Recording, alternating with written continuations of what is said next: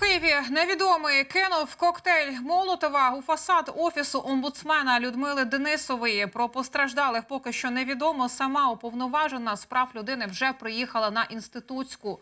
Чекаємо більш детальної інформації.